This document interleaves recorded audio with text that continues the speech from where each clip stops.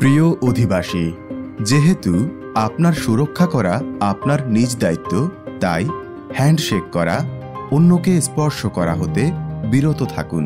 জনাকীর্ণ অঞ্চল থেকে দূরত্বতা বজায় রাখুন এবং বাড়িতে অবস্থান করুন। আপনি যদি শ্বাসকষ্টজনিত অসুস্থতার লক্ষণগুলোতে ভোগেন, তবে নিকটস্থ হাসপাতালে যান বা স্বাস্থ্য মন্ত্রণালয়ের hotline two four four four one nine nine nine নম্বরে কল করুন।